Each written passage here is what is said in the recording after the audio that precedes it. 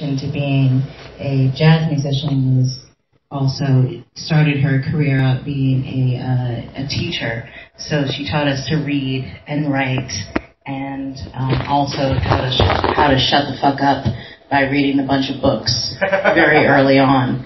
So I was very much into reading a bunch of books and writing um, and having a love of the English language just in general. So I'm not sure if I knew it was a song the first time I wrote it. I was just writing stuff. Um, and it, it, sadly, the first, I guess, song I wrote was a really terrible song. Because uh, all my writing was really good and then I was like, oh, I need to write this like in poems and in poems, and and then I wrote a song. And I don't know if you guys know what freestyle music is, mm-hmm. but it was really really big in uh, especially Latin, Latin freestyle. Yes, Latin freestyle, which uh, Hot 97 in uh, New York used to be Hot 103, Hot Caliente 103, and uh, freestyle music was really really huge and it was it's fucking shit music. Um, but I was like, man, uh, me and my good friend, my best friend, we had we were like eleven or twelve. And we were like, man, we need to write like a Latin freestyle song. We're gonna totally fucking kill this industry. and what I need to do is not just write the song, but also write a really good rap verse. I did not rap at the time at all. Uh, and it was a really bad rap verse, and it was a really well written pop song, um, which I have a lot of love for, which we'll talk about later. Uh, but I guess that was it. I guess that was like 11, 12? Yeah, sure. Um, I first want to say that I think there was some good Latin freestyle. There was. There was. no Sarah, summertime, no, summertime. Take me, take me to the water.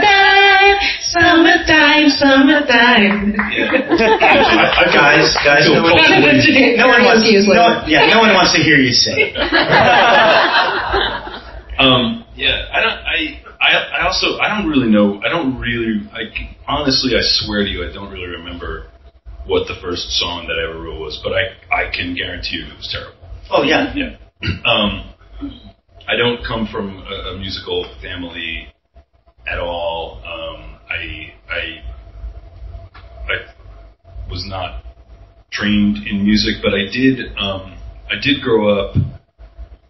First, I, got into punk really, really young. Like uh, when I was ten, I went to see Adam and the Ants. That was my first concert in, in 1980, and um, and then I got into to very early hip hop, and I saw you know a lot of young people with microphones like doing things, you know. Mm-hmm. And then I got into like sort of more back into punk and, and hardcore, and, and in that world, it, it was a very peer, you know, it was a very peer based world. Like, um, you had the kind of the bigger, older punk bands that you know you aspired to, like the Clash and things, but largely it was kids of, of uh, you know junior high and high school and maybe like early college age, sort of singing to each other about the things that bugged them. So there was a lot, there were a lot of terrible songs, um, but there were, but there were also a lot of really meaningful songs to that, you know, to that uh, kind of moment in time for for these people, which is a continuing moment in time that new people, you know, continually plug into. Um, and so the idea of, of of writing songs and becoming a songwriter, in a weird way, I kind of think it was like, you know, like I wasn't on the football team, you know, you know what I mean? Like my, this is what my peer group did, and uh, I was part of that, and um, and so I I dabbled in it, and it was only really, I mean, I think many years later, like in my early 20s, when I started thinking seriously about about like actually kind of, you know, having a voice uh, that. Um, uh, having a voice of my own that as a songwriter that that uh, could sort of jump that particular scene's boundaries, you know, and, and actually, you know, write songs that weren't just for my immediate peer group, you know, that kind of tackled broader issues and or that actually just were songs meant for song's sake, you know. Um, I don't really know where I'm going from there, but, but it winds up here. Is the Yeah. point. So, First, first song written. I don't. I really don't remember. I really don't remember. And you? Um, I think that music for me was, I don't know, like I, I think when you don't, you feel like you don't connect to anything or you don't fit in. I mean, I don't mean to be like I was an outsider, I, but I, but like in my family, I was an outsider, so I felt really disconnected from everything. And I think with music, it was a dim light in a long tunnel where I thought, I don't know what that is, but it feels like something to go towards. And I wasn't like a, a lot of my musician friends are people who had an innate talent, would play along with Beatles records and figure out how to play. Like I can't even imagine that. I tried to play along with. I I I remember sitting down and going, I'm gonna I'm gonna try to play just this one thing that I hear in a record, and I and I just I couldn't do it. Like I couldn't. If you sung a melody to me, I would not be able to sing it back to you. So I so but even like not really having any musical talent, I I just was like kind of making my worm like way towards this thing. And um for me the the well the first song I wrote was I put music to a, a Lewis Carroll poem and I was maybe 13. And that was actually not bad, but the, but every song after that for years and years was ter- was terrible because I I just I didn't really understand that there was kind of a, a logic and a science behind uh, chord progressions, and I would just choose some chords and try to make a song, and it sounded terrible. So so for me, learning some music theory uh, was was the key to um, being able to write a song. Uh, because when I hear chords, then I you know, I think the one innate ability I have is to just come up with a melody. And if I have a thing, a, a line or an idea that I'm thinking of, I can sing that over those chords and it sort of makes some sense.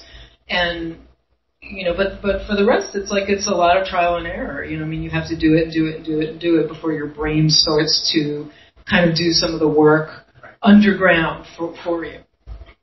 John? I remember the first song I wrote.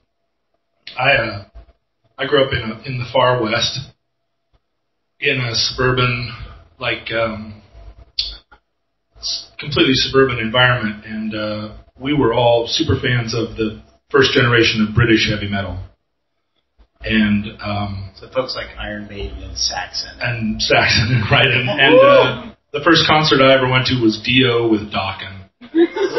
Um, and so that was a very um, music was you know hugely popular among my peers, and everyone wanted to be a guitarist, and everybody wanted to be a fast guitarist.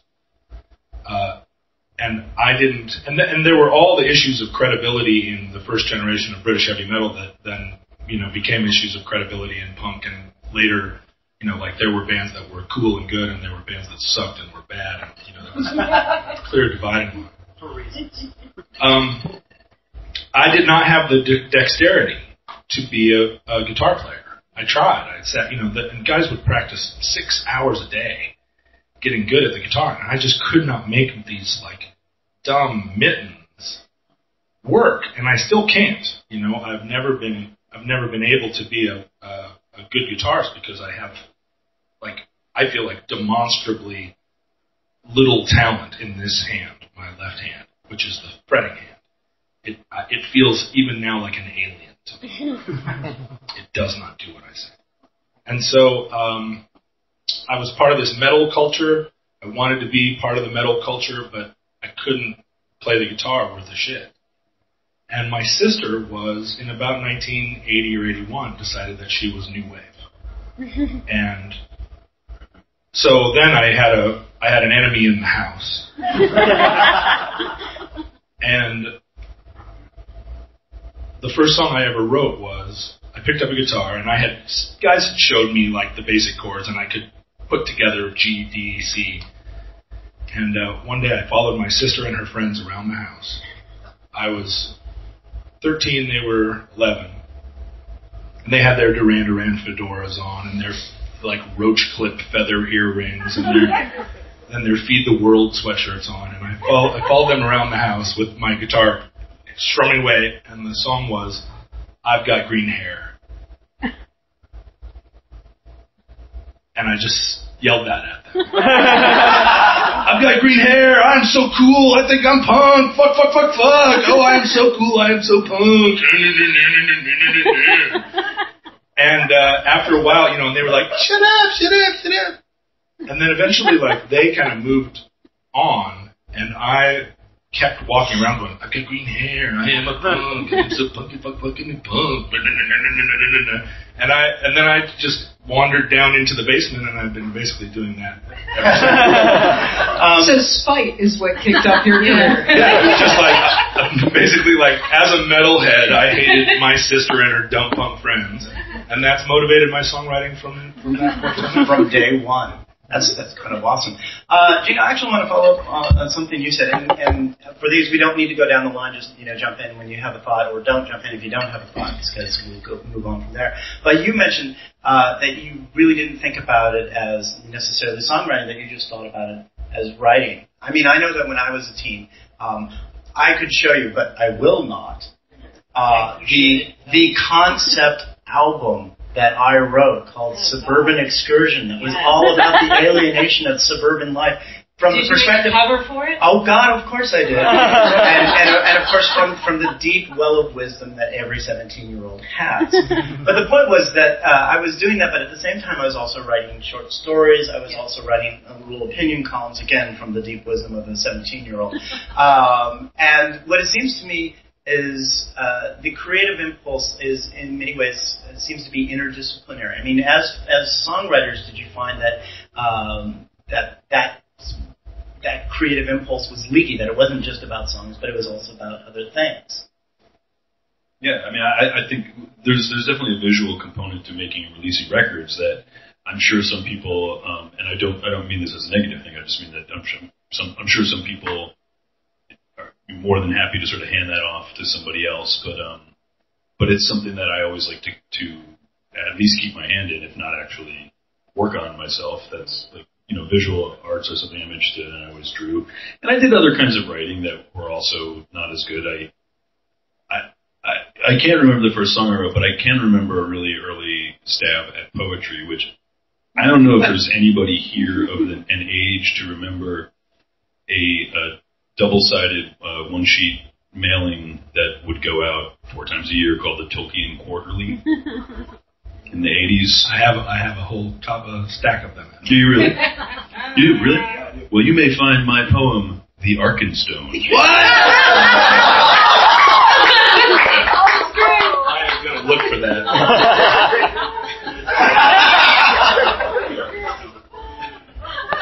I definitely feel that poetry and lyrics are completely different art forms. I agree with that. I agree. And, uh, Good evening, ladies and gentlemen. Could the following guest please contact the guest services desk by dialing zero from any house phone? Mr. Ansel Baker from deck number six. Thank you. John Roderick, do you have anything else to say? uh, I, I write poetry and have always and I always want that to make me a better lyricist, and I, I guess it does. But but poems almost never become lyrics, and uh, and that uh, that isn't always clear as I'm writing it. Sometimes I will sit down to write lyrics, and it will turn out I've written a poem, and I will be very disappointed because I'm trying to write lyrics, and I've written a poem, and it's like, well, now I have another poem.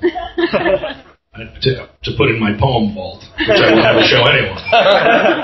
I think, um, uh, also, and uh, very similarly, my brother, uh, six years older, introduced me to a lot of punk and a a lot of new wave, so it, my stuff kind of tended to go everywhere and be very open. But he was also a, a, an amazing, he still is, great uh, visual artist. So, and I couldn't fucking draw for shit and I always wanted that to like kind of be my superpower in the family because like everyone could make music, but like he was the motherfucker who could draw fucking comics and do amazing shit. And I was like, what the fuck? Why don't I have this? Why can't I wear glasses? Um, and so I think when I started really, really writing, I wanted to make everything really visual for two reasons because I wanted to make up for that, and also because I never had enough money to do visually the kind of songs that I wanted to write. So I had to write them um, in a way that would kind of bring the listener more, just kind of be there. You, you have to be able to see it. It has to be more visual without me having to shoot the video because we don't have the budget to do that. well, people are doing videos on the boat right now. Yeah. Oh no, um, I'm planning on shooting three before we get off here. So. if I can out you, you're very, you are you are an adept in many different disciplines of the arts. Thank you for saying that. Um, I, I go in and out, in and out of periods where I like to draw and paint and do that kind of thing. I don't think I'm that. Your, your paintings of U.S. presidents are amazing. Aimee did a series of the worst U.S. presidents that are all really good. The top ten worst pres- presidents. Okay, I, I, want the James Buchanan brother. Oh, and it's very, it, it's very, uh, it, he looks like a zombie. Yeah. Yeah, it's very green. Yeah. yeah. um, Ted, you were talking about um, when you were younger, just like the punk scene, the punk scene, the punk scene, and then slowly moving beyond the punk scene uh, to kind of expand your horizons. Um, in many ways, at least for for an outsider, I mean, there's much about the music, uh, you know, the music world and uh, and the industry and, and songwriting, which does seem uh, intensely tribal. You know, metal uh, writers write songs in a, in a metal fashion. Punks write songs in a punk fashion. Um, at what point uh, do you uh, abandon the, the, the, tribal identity and, and, and try, try to expand beyond that? Well, you have to understand that in any tribe there are, are always the, the pure. There's always going to be the puritanical element who will want everyone to sort of hew to the original kernel of the idea that this group of people gathered around, you know. And um, you know, honestly, like sometimes that's a well that is very refreshing to go back to. Also, you know, like if I'm if I'm uh, feeling a certain way, I want to hear. All I want to hear is, you know, Reaganomics killing me, Reaganomics killing me, Reaganomics killing me, Reaganomics killing you. You know, kind of songwriting, but um, but I think that I actually think that um, in in almost every case, whether it's whether it's metal tribe or you know or, or, or whatever, you know, there there's always a lot more kind of diversity going on within the songwriting than what uh, than the kind of mantle that that people you know tend to get thrown on them for being part of a scene. You know. Um, and speaking from my own experience uh, with punk, I mean, of course, you know, uh, like you can't you can't take an album like London, like the Clash's London Calling, and say that it's not a punk record, but it sounds, you know, it doesn't sound anything like a Discharge record. It's a reggae record, let's be honest. Yeah, in many ways, yeah, you know, and um, and you know, so these these kinds of um, these kinds of labels are are useful in in helping us sort of establish our own identities. I think both as as as fans or as artists. Um, but you know, again, like I'm not gonna I'm not gonna say that uh, it's if if you're if you're perfectly happy um, continuing to to to work with within what you know uh, strictures that you've set for yourself, then that's great. And there are bands that continue to churn out amazing album after amazing album that really don't deviate from the form, right. like Motorhead or something, you know. um,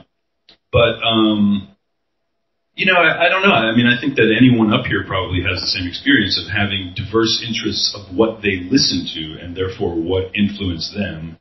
And just, you know, op- at various times in your life, sort of open up different doors that allow you to say, like, oh, I could step through this one and walk down that hallway. And, you know, it, it uh, and not just as an intellectual exercise, but because it, it resonates with me at this other, you know, stream of music to. or something. Yeah. You kind of have to because um, then you just leave doors that are kind of closed, and and you can't do that. So there's certain certain doors that you kind of have to open to make things feel okay, and you don't necessarily know when that's going to happen, which is the weird part of it. Well, and also, I mean, are there doors that you uh, kind of hesitate at? Are there things that you are scared of that you still kind of have to get through? Oh, this is getting heavy. Um, yeah. The karaoke's after. um, I, I think there, for me, there were.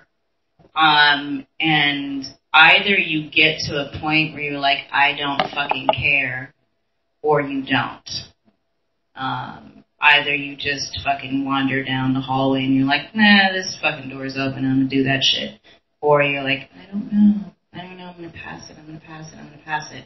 But it, no matter what it is, I think those elements will leak into other songs you're trying to write anyway. Um, and it'll always kind of feel kind of empty if you don't do that. For me, the door, the difficult door to go through was always toward simplicity.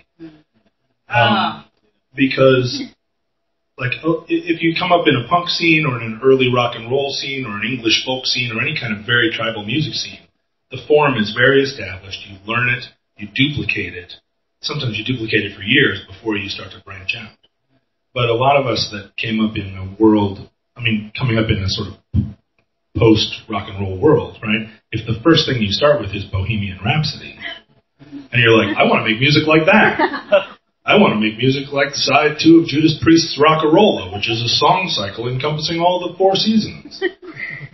There, that's not a, there's no form to inhabit there. Like you're you're already looking at artists that have learned forms and broken them and built original material. And if and so to start there, um, you're just you're up against this impossible task. And for me, it was a it was always going through, going backward through doors and like I do not have to reinvent music with everything I make. I can seek simplicity and and I can just make something elemental. Try. Is that a little bit about ego, though? I mean, uh, from from the uh, fiction writer's point of view, um, a lot of the stuff that you write when you're you're really uh, young um, is to try to impress people how much of a command you have, either of the language or the situation or the characters or something like that, and and not having the the wisdom, you know, the ins- installed base of years, as it were, um, to recognize that uh, you know filigreed prose doesn't mean anything if there's not knowledge behind it. I mean, is part of it. I mean, but you still say, look, isn't this impressive? Isn't this? Is that some of it? Some of it ego? For sure, but also if you're not part of a like you know, 15 years ago or whatever, we were talking about the death of the novel, and everybody had everybody had decided that the basic form of a novel was dead, and we needed to you know, like have all these narrative like whoop-de-doos.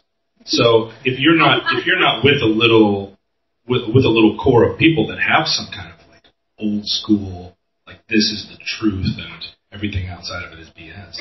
You're just in the big. You're just reading the reading the London uh, review of books and feeling like, well, I guess this is the standard or whatever. I'm chasing after the masters at every level. Yeah, I mean- I think um, even in in in hip hop, it's um, it was a form of being very competitive and uh, being like, oh man, I really have to get through using all doing all these rapidy rap songs, which I still call the rapidy rap songs when I'm doing them. And then I'm like, oh good, I've done enough rapidy rap songs. I can go on and do other songs that I want to do. Um, so it it, it yeah, it, it, it took a, probably about 20 years to kind of get out of that um, form of writing really competitive, ego-driven stuff to be like, ah, I'm fucking playing, I'm fucking better than you, and I'm challenging myself at the same time. Um, and then be like, there's simple shit that can be really great, and I can be really good at writing really good popular songs that just are able to be beautiful in its simplicity. Um, so it's it's a really interesting choice to kind of put that down for a second and be like, I don't have to use nine million of the words to be able to convey this.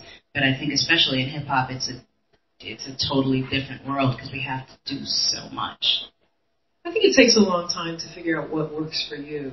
And I think it takes a long time to get over your initial thing of it's, well, speaking for myself, there was sort of a, a feeling of like, I really want to have the identity of a musician. I want to have the identity of being a, a songwriter. Um, so, so the first thing is like you scramble to sound like someone else who's a songwriter, uh, so that you can have that identity and then you get to be part of sort of a tribe or a group and and I was in this kind of you know art new wave noise punk scene uh, that was really fun and, and was good for me because it let me really write any kind of bullshit, crazy ass thing, like not knowing what I was doing and and having that be totally accepted.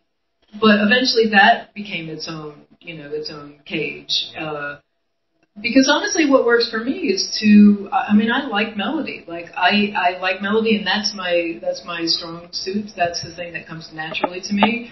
Everything else was was work and learning structure from other, you know, other people. Uh, so so for me to to kind of quit this, you know, Nina Hagen Kraftwerk influence, what you know, thing I was doing, and to and to play really melodic, uh, you know, uh, Thompson Twinsy Duran Duran kind of stuff. That was a big rebellion, Right. you know, because I felt like I wasn't really allowed to do. There's things you're not allowed to do in whatever scene you're in. You're not allowed to do them, and uh, you know, so that was like that was my big rebellion. So when and when you started doing that, I mean, did you? Uh, no matter you said, you know, whatever you do, whatever scene you're in, there's always going to be some boundary you're not supposed to cross. Yeah. And when you do that, um, you're immediately going to get the pushback. I mean, whatever community you're in, regardless of whether it's music or it's uh, uh, you know writing or it's theater or whatever, um, transgressor, transgressors get punished one way or the Yeah. other. When that hit, I mean, how did you respond to that? I mean, I don't even know if it was something people were saying to me or just you, you just kind of perceive it as this scene is about this is about these you know more specific things like a you know a, a, fr- close friend of mine was in this other band that we would play with a lot. Uh, they had a song where the lyrics were the the a recipe to shrimp flambe, and you know, and it's like, well, there's no feeling in that. Like that's really that's funny and that can be creative or interesting or ridiculous or whatever. But but for me, I I needed to have some kind of yeah. I started to feel like I needed to have some kind of feeling, and just nobody was doing it. So I think I I perceived no one in this scene is doing that, but people over here are are doing things that are that's closer closer to what honestly you know like I'm kind of ready to do. I will cop to at times, um, you know, feeling a little too acutely like the, the pressure of the expectations of one's one's audience. You know? And I think that what it has done to me in the past is not not limited uh, limited places that I that I would go, but it has it has made me consider like, oh, am I putting enough of this thing that I know people think of when they think of me into what I'm doing, you know? And that's that can be a real That's weight rough. on your Yeah. forward momentum as, Everything as an artist stops as well. as soon as you Yeah. think about what people are going to think about it. Everything stops. Yes. You can't do that, and that's one of the ways that I, you know, if I find myself in a writer's block position, I get, you know, I say, you know what, this is a song you will never play for anybody. Just finish the song. Right. And then, and then later you can decide, well, maybe I will play it for somebody. But, but while you're doing it, just like this is a song that will never see the light of day. Just don't worry about it. Say whatever you want to say. We've been working together for over two years now. You've never you've never brought that amazing That is a great idea. out. I'm going to use that immediately. Yeah. I, I, I, I, in the mid '90s, I had a, a group in Seattle that uh, our signature sound was that every song had at least three time signature, and we were really reinventing music. We were really on the you know the cusp of like math indie that was you know never going to sweep the nation. And uh, and I, re- I remember, but the thing was, I had the luxury of being both 28 years old and also not having any fame or esta- I was not an established artist, and so I changed my sound. And I remember take because I wanted I wanted people to be able to dance to the music I was making. Because at every song, at least one part of the song, I would look out and see the crowd start to dance. And then in my head, I would be like, "We're about to go into seven thirteen time, and this is gonna Get ready.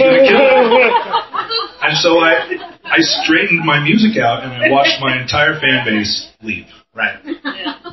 But then a whole new group of fans came in Mm-hmm. that then grew with me. And that the thing is that I think now that I have fans that have an expectation of what I sound like, it's much harder for me to make that same kind of bold choice Sure. because it feels like, well, now I now I do have an established sound. I actually want to follow up really quickly on, on something you said about the, the thing of I'm writing this just to write it for me and to get it Yeah. to get it done um, because that's something that I do all the time uh, when I, I'm trying to add a tool in my toolbox, right? Where I it's like this isn't for anyone else. It's going to be terrible. The whole point of it Yeah. is to, to, to, to work with that. But what I fundamentally do um, and I will be talking about this tomorrow or whatever day it is that I'm, I'm talking about the basics of starting writing, um, is the permission to suck. Yeah. Because the, the whole point is, Be terrible. yeah, because the whole point is Or not judge it later. You know, just suspend it. Like I, I, I- I think judgment is a real, you know, freezer upper. You, you can't. You, Jesus Christ. I, I mean, I'm I'm married to somebody who is like the, the he's the he's the worst at it, and I'm always like because he's a great songwriter, but he's a perfectionist. Yeah. And it really is that thing of like, it doesn't have to be done perfectly. It just has to be done. Just fucking finish it. Right. Just do it. Just sit down and Yeah. write something. Write a one minute song. Write a ten second song. That's- Write a song in 10, in 10 minutes. Like, do anything. right. Literally anything. Yeah. That's that's me. That's me. You're the perfectionist? Yeah, I, I'm. I'm Just not. constantly I'm judging. not. I'm not. I don't know if it's as much of the perfectionist as I'm like, eh, fuck it. Uh, yeah, yeah, and so I have no surplus of songs.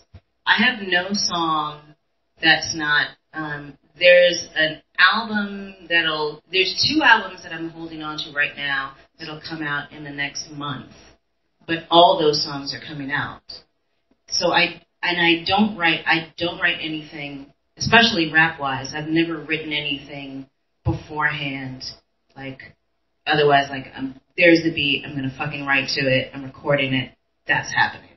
I've just, well- I've never done that. I got a backlog of about 30 that I've been tweeting I for wish- five years. I if you wish- want to borrow some, I wish I did, and don't wish you did. no, I, I do, I do. But but then everything else, I kind of just got to a point. Now I'm like, oh, there's certain things that I like. Maybe want to spend some time on, like working on it.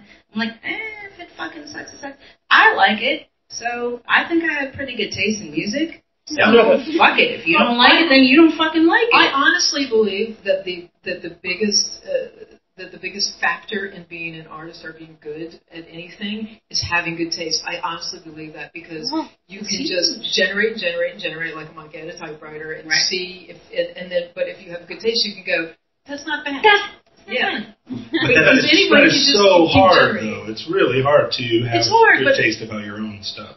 it's I I I mean it's hard to be it's hard to be objective about oneself in a lot in a lot of ways, but I don't I'm know. I started mean, maybe I'm recording just stuff like and weirdly. being like being like, no, this is no. it's kind of the one Nobody place I'm not that hard on myself about. Like I can, you know, if it's good, I go it's good, and if it's not, like I don't think it's automatically great just because I did it, mm-hmm. and I don't think it automatically sucks just because I did it. Can I can I add something to that too, which is the the the ability to be to attempt to at least to be obj- objective enough about your own work that you can that you can effectively edit Yeah. you know and, and Yeah. like i learned you know i learned some lessons like i i look i like a good riff. I will ride a good riff off into the sunset. You know and maybe nobody i'll turn around 10 minutes later and nobody's following me. Um, and uh, there was a tv show that i was playing on where like our, the song that we were going to play was like 20 seconds too long. And so we found we only found out that morning and so we had to do some quick like just off the top of the head, like cut, cut, cut, cut, cut. And we were very frustrated by that. And then I watched the show later that night, and I was like, "Wow, that's so much better! it's such a better song, you know." And um, and that got me thinking. That really got me thinking a lot more about that. And then in working with you, um, the songs that we've written, I I feel like I have really learned through a, a collaboration that involves enough sort of uh, uh, comfort that you know you've got each other's best interests at heart. Nobody's out to bruise or one up anybody, um, and also uh, faith in in the, the the talents of your writing partner. That each song uh, itself kind of becomes a, puzzle to solve. You know, a a song to make the best song that you're writing at that Yeah. moment, and a song that you don't have to have all of your your you know the the the uh, you're not forging the you're not forging the uh, You want to do a Tolkien consciousness of your generation in the in the I feel smithy like of your soul. You I feel know? like there's a Tolkien reference that's coming up. That was a James Joyce reference, but yeah. But they, you're not, you're not, you know, you don't have to pour every ounce of yourself into every single note of everything you Yeah. do, so that you become so invested in it that you can't see the forest for the trees. That's right. you Yeah, know? yeah, yeah. Yeah, you can't see that there's 20 seconds can be just cut out of it and it'll sound great. If I, uh, I I go back and listen to my early records, and I I have so many great edits I would make now. Yeah. And the challenge is with this thing that you're working on to not to not Michael Pym it and destroy it before it's born, Yeah. but also have enough uh, distance from it that you can you actually can recognize the weak spots and edit them in real time. Yeah. And I still, at, at 46 years old, have not figured out that that that balance, that combination. I'm What do either you- I'm either hating the thing, I'm, I see its weakness, and so I hate it, Right. or I fail to see its weakness, and I have a I have a 14 minute song that has one chord. That's, about- that's called the Arkenstone.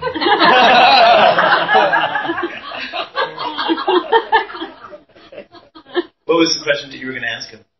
I'm just, what do you think are the factors that go into, oh, but maybe you answered that. You see its weakness and you hate it.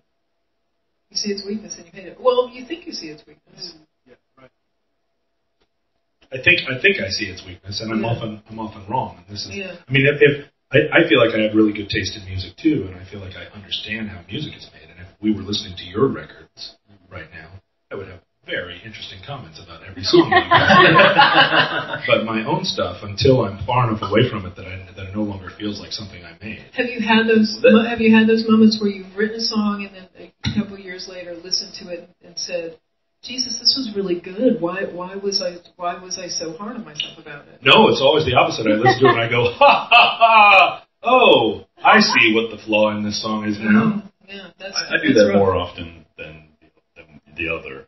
But I think that this goes this goes hand in hand with the like you know write a song and just finish the song and judge it later thing. You know, like um, you know because while you're writing, of course, you're, it, that doesn't mean just like blurt blurt it out on the page and then judge it. Like you're still writing, you're editing, you're actually writing something. You know, and the divestment of of such you know turgid uh, you know ego in in everything that you write um, is has been an important part I think of me getting better as a songwriter you know, to, to divest that you know from the process. It's a very fine line to to really enjoy what you're writing uh, without getting into an ego frenzy about it and, and wanting to believe that it's great because it's coming out of you. Yeah. And that is a smaller line than you and feeling Yeah. terrible when you don't feel that. Well, it's that's the problem. I mean, it's like if you if you're if you veer off into this, this is the greatest thing ever written. then the danger is you're immediately going to flop over into this is the biggest piece of shit that And, yeah. man and my, ever my problem, I think, is that I was in an ego frenzy a long time before I started writing. Right.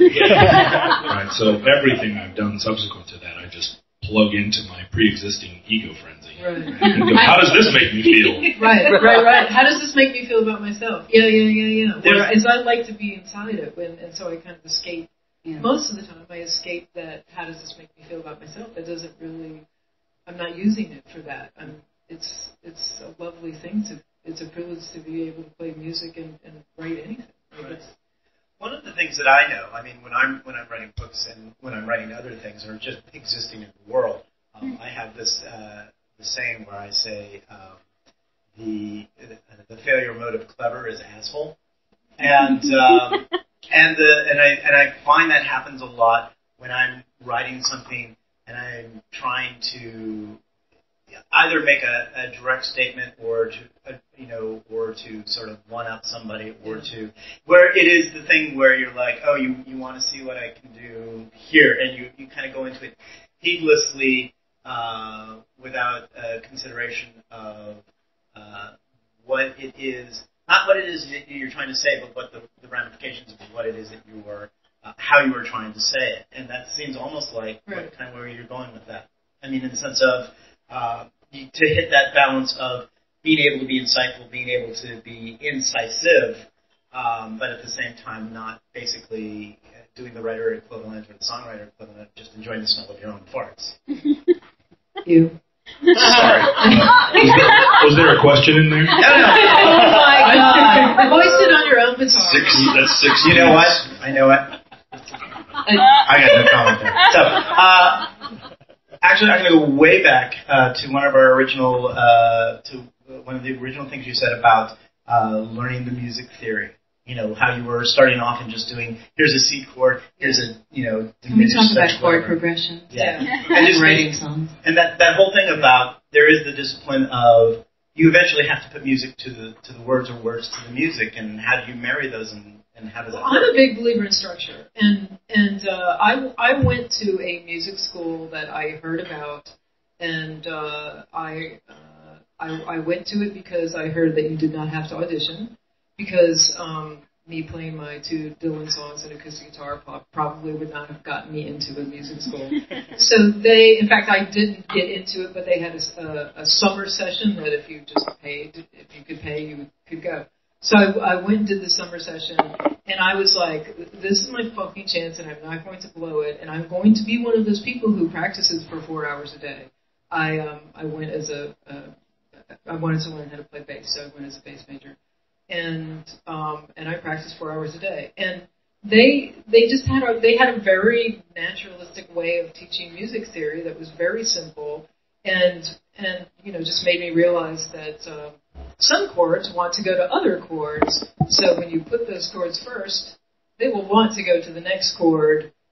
Maybe try that. You know? and so, and that's really that's really what I do. Um, uh, so I would try that first, and if I didn't like the way it sounded, I would try some other substitutions. But it gives me something to choose from, rather than going, well, I know a C, I know an A, I know an E minor, I know an F.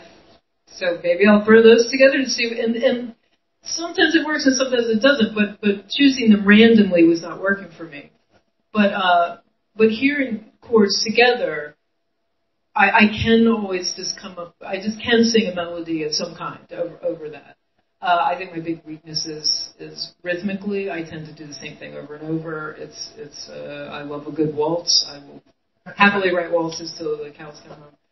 But so that's that's really you know that's really I mean as far as writing lyrics like that that's just like a do it do it do it do it do it do it do it and you get better at it. But you also have to give a shit, you know. Like you're never going to write a good lyric if you don't give a shit about you know a concise rhyme scheme or you know alliteration or word play. Like if you don't care about those things, you're not going to come up with them, probably. Oh, shit. I'm looking at you. Uh, no, just because I wanted to. I, she said chord progression earlier, and I wanted to talk about it because it's, it's it's so important, and um, a lot of the times audiences don't know that it's important. Yeah. But we're totally making you do fucking stuff with chord progressions, and you guys don't even know it. And um, a lot of the stuff that I consider like heart, what I call heartstring chords, um, which are chord progressions. And I, I tend to go, I'm, I was raised Muslim and I'm totally not Muslim and, uh, but uh, gospel chord progressions are like my favorite Yeah. chord progressions of all and they go a fucking way Yeah. and they make people feel a way and they make me write a certain way. Um, and so learning really early on that those were the kinds of things that I loved. Um, and I also came from a, a musically trained uh, background and learning how to play stuff and doing that and be like, yeah, that's cool. I'm gonna use like none of that, just just how to play these things. Um, but uh, the idea of having that, um, I think, kind of drives everything else. Like the idea that I have uh, these melodies behind things, and the feeling from it, and the words come after that, or maybe even before that. But um, I'm just thinking in terms of those progressions, maybe even lyrically, not just melody wise, just progressing in that sort of way to go up and down and kind of have a roller coaster ride. And it, as a as a fan of music, you know, you you you may not you may not know that you're hearing that Yeah. when you hear that, um, but it does. You know, intuitively, you know you're hearing something. You you, you feel something, and I think that you know, as a as a writer too, if you if you are you know, if you are in connection with the things that move you, you can intuitively, you know, find those those movements that you guys are talking Yeah, as there's well. a lot of those fucking popular songs that are just fucking popular. People have no idea why those are popular. It's because they use those chords and they use those progressions and they use those certain words that strike you, and you're like, oh, firework. I'm a fly. All right, cool. And then I go back down and go back up. It's it's Yeah, a science. That's, that's yeah. the like the Swedish That's a real- propulsion that's- apps that they that's when write songs in these days. Yeah. My favorite thing that Aimee does a lot is the bar of two or the bar of three, um, where the chord progression is maybe you know a pretty simple chord progression that you've heard a million times, but then somewhere in the turnaround, a, a beat goes missing or a couple of beats go missing, and it's it's what It's really good. I'm not aware that this happens. it's, it is really good. It, and it's, it's what you're saying, Ted. You got to take 20, 20 seconds out of a song, and so you cut out all the. You're, you're like, well, I could get, I got to the end of this, and I could just go the extra two beats to the turnaround where it's obvious, or I could just take that, Yeah. that five seconds out and just get right to the chorus. Yeah. And that it, that turns the whole song on its ear. You are aware of what this is. You do, I you do this in your I, I enjoy songs. praise, so I accept, I accept your statement. Aimee the chord of silence, and it's really beautiful. But so it takes normal chords, and, but somehow that that uh, just the kind of moving them around um, turns it turns it into a whole new thing. I do that a lot. Uh, I I- to. I feel like Aimee accuses me of doing that a lot, actually. I, I, I think it's one of the great tricks of music. You know, just like don't bore us, get to the chorus. I'm going to ask one more question, and then we're going to go ahead and open up to questions. So be thinking of the, your question. And in fact, actually, to make it easy, if you do have a question, go ahead and line up over here, so and I can just hand you the mic to ask a question. So while I'm asking this, go ahead and line up. Um, we, one of the things that is obvious, uh, listening to all of you talk, um, is each of you have a process, but the process is different for each of you. Um, and uh, one of the things that I do want to, to touch on, because this does affect new writers, whether they're songwriters or writing, uh, you know, books or articles or whatever, um, is that moment when that process, that thing that you do, that you know ends up with uh, music or books or whatever, um, breaks down, um, and you you are kind of left in a in a hole. What do you uh, has this happened to you? What do you do uh, when that happens? Uh, I have deliberate games that I play that just make it make it fun. And I did. There was a point where I did have terrible writer's block, and so I started doing these games. I'll write chords on little pieces of paper and throw them up in the air. Whatever chords show face up, that's my chord progression, and I'm allowed to change it. Yeah. You know, because if you're changing it, it's because you're starting to get into it. Uh, I will cut words out of newspaper headlines and sort of move them around. Uh, I have this very overly elaborate game I do where I pick a word, put that word into iTunes, and then pick a sentence out of whatever the iTunes podcast looks that word, and, and whatever the whatever song comes up based on that word. That's my that's my tempo, and that's my uh, that's my you know vibe, and and then use the chord. You know, so I will do these very deliberate things like you know, it's a game. Write a song. You have 10 minutes. Go.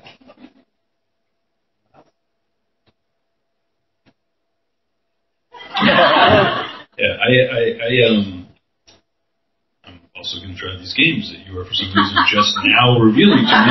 We've written an entire LP and more together. This has been a very special Yeah. episode.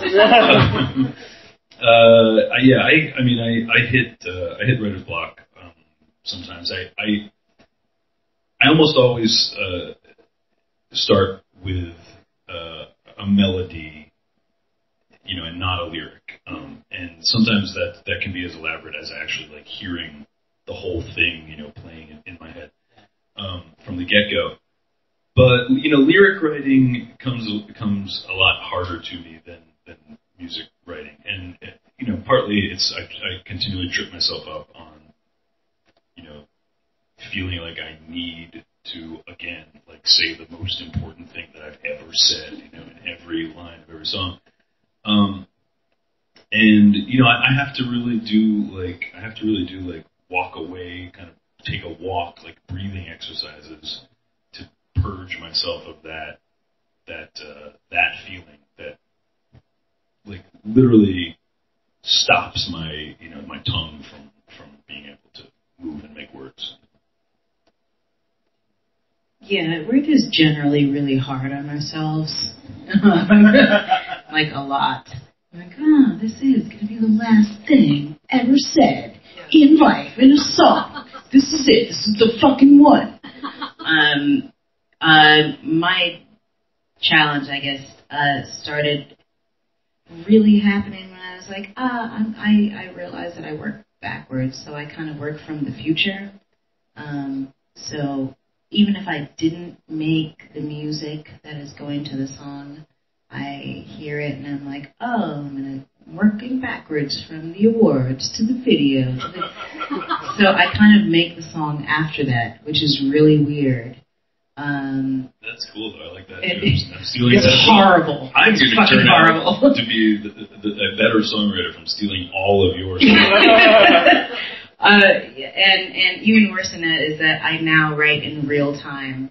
So I write everything. Um, I would normally have given even like you know any of the relationship songs anything like two years, but I write things while they're happening so that I can be on stage performing them and being like, okay, this is fucking happening right now. That's crazy. Don't do that shit. Uh, do not live that life. It works for me. I would not advise it for anyone else. Uh, it's been working for two years, possibly. When I get writer's block, I spend five years jacking off on Twitter and then I start going crazy.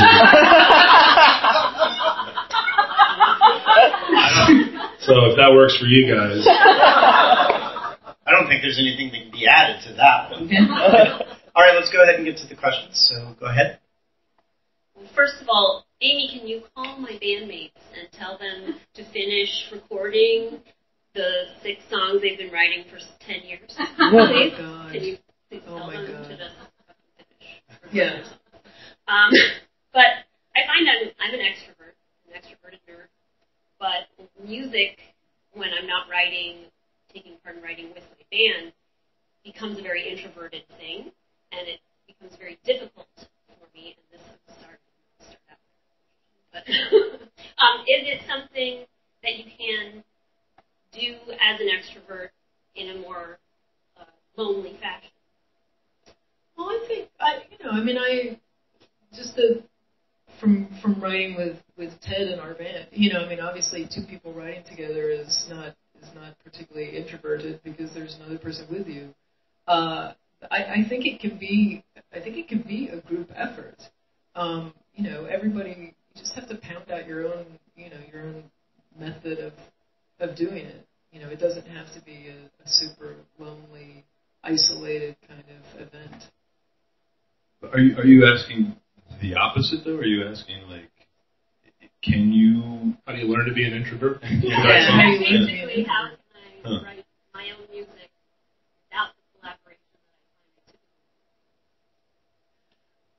I Well, I mean, you have to start. You have to start trying to, you know, fill in fill in the, the holes of what other people provide. You Get a know, looper pedal. Yeah. You know, if, if you're used to having somebody come come with a chord progression and and you know you put the melody or, on it, or or if they have the almost finished thing you put the words to it, you know, I mean, you're you're gonna have to sit there with a guitar and and play some chords yourself and and uh, you know, but I mean, it's like it's like anything else. When you do it enough, it, it enmeshes with your you know your your brain, and your brain starts to then work behind the scenes, and and and it becomes a different you know a different kind of process. It doesn't become so so deliberate like it does some of the work for you. But I mean, you do have to do it hundreds of times. Can I say too that you know when I started playing under my own name, um, it was about 1997, and I'd been in bands for a, a long time, and um, the band that I'd previously been in, uh, I was starting to disintegrate, and, and I quit, and it was I was all at that point, you know, I, I had sort of already gotten over the, the, the, the game of like trying to be in a band and making records and gathering fans and et cetera. And I was like, Ugh. and and I, I was ready to kind of throw it all aside, but I I still wrote. I couldn't stop writing songs, honestly, and it was from there that I was like, well, I got all these songs, you know. I guess I'll go play them on my own. That eventually, you know, became a whole other thing with another with another band, but um, introvert or extrovert, like you don't ever have to stop writing songs. You know, there's, you write songs to write songs. What you do with them is that's that's a different question, you know, and that's that can change depending on how you feel from one day to the next. Okay. Yeah, but it's very hard to break your dependence on other people if you're writing with other people, playing with other people, or you know, there's producers I've worked with who have you know done everything, and then you know I sort of found myself like, okay, what do I do now if I'm not working with them? But you know, but art is forgiving. You know, I mean, and, and it's it's it's okay to have a simple song. You know, like I mean, there are two chord songs, there are one chord songs. It's it's okay to start out simple, simply, and sort of see where that takes you. John Roderick has a 14 minute one. Okay. next The question. Arcade Stone. For those of us who are in professions we are very passionate about, like you guys, um, especially in creative professions, a lot of times it's great because we can go to work and it's not really work. But then there are days, sometimes it's weeks, where there's other stuff going on and it is a job. At the end of the day, it's how you it's, it's how you bring your bread home. So when you get to that time, how do you handle it? Do you walk away? Do you have a way to get re-inspired? What's your way to get back into where it is a passion and not just a job? Uh, I cry for about two hours, and then I eat a bowl of pasta. um, shit, I don't know. You just, you just kind of have to deal with it. It just, it is what it is, and this is what you've chosen. And there's some days that are fucking wonderful, and you wake up in the morning and you're like, fuck yeah, this is the thing, doing music, isn't it great? And then the next morning you're like, what the fuck were you thinking? This is fucking crazy. Um, I, I, I think you just, um, you gotta find some sort of balance in, in knowing that it is work and it is that. And it's, it's really hard to explain to be like, hey, you gotta think of it as both things. I don't know what it's gonna be every day for you. I don't necessarily know. Um, and I, I, I also know that if it's something you're super, super passionate about, then that plays into it even more. Like it's not just, hey, I like doing music, or I like doing this creative thing, whatever it is, and it's also the thing that brings me this source of money. Um, I don't know. There's not really a good answer for that. Yeah, I mean the, the graph of like you know uh, en- enjoyment and the grind, Yeah. you know, or fulfillment and the grind or whatever. They're they're always crossing, you know, Mhm. and, and as as time, in a linear you know way as time goes on. And you know, I, the simple answer for me has always been like, look, at the end of the day, no matter what has, no matter how hard the you know Boise to uh, Spokane, you know, drive That's quite a joy. has been. um, like you know, Boise, Boise to Spokane is not that bad of a all right, uh, uh, Missoula to It's uh, Boise to Bend, Bend. Oregon. It's poison ivy. All right, all right, that's not too good. Thanks. Yeah. um, you know, you you do the thing is you get on stage and you, like for us, you get on stage and you get to you get to play music, you know, and, and I mean, look, I'm not going to lie to you and say that even you know that that's always magical. You know, of course, there are times when you're feuding with your bandmates, or you know, you've just had such a terrible day that you really don't want to get on stage and perform, and that's not easy. But I think it, it's it's it's been rare for me that you know you, you can't shed enough of that to actually perform in a sort of you know jo- joyful in the like sense, you know, kind of con- connected way. Um, and I, I can't say from too much experience, but I, I imagine that if you're a creative person who works in, in a creative industry, like Jean said, like you, you just kind of have to deal with those those um It's those just gonna down fucking cycles, suck you know, sometimes. because you yeah, it's because, gonna fucking suck a lot. yeah, because you know how good it is in the good cycles, And then when it's you gonna know be that great, it will cycle around again. I have two. I have two things. One super corny. One just kind of practical. I, I, and, and this is part of like just trying to become a more mature person, practicing letting go of stuff. And on stage is a perfect time to practice letting go of stuff because there's always something you forgot a lyric. Fuck, you know what? Let it go. It's done because you're going to ruin the rest of the song for yourself. Just let it go. Mm-hmm. There's some weirdo in a Rush t-shirt right in front of the stage screaming after I'm right next to I don't know. I'm sitting right here. Stop wearing that t-shirt. It's really weird. I'm a big fan of Rush. That's not that weird. Let it go. Move on.